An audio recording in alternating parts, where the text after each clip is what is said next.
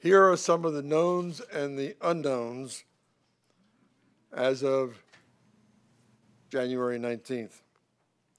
What will the unemployment rate be as reported on the first Friday of October?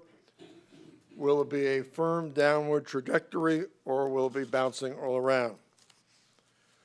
Will Mitt Romney, assuming he's the nominee, be able to shape the Republican Party or will the party shape Mitt Romney?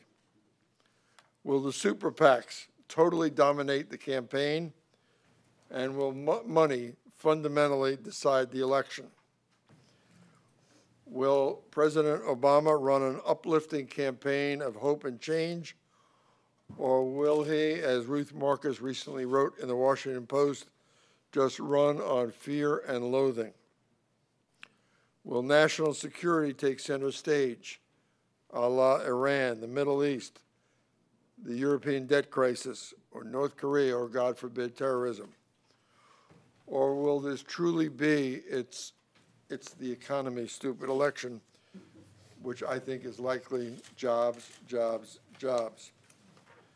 Will the Congress really be the do-nothing target Obama is trying to paint?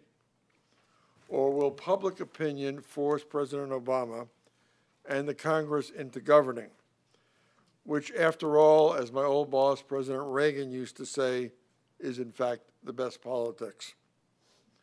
Will social issues and Occupy Wall Street and religion play any significant role in the general election campaign? Will this be a size, scope, and role of government election? Or will it be a referendum on the incumbent? We will find out in 292 days, which is 292 lifetimes, the answer to many of these questions. But no matter who is elected, that person has to govern. He has to bring people together. The job of president is simply, is not, not simply to build consensus in Washington. It is to build consensus in America, and then Washington will follow. Let's hope that the campaign will elevate both sides.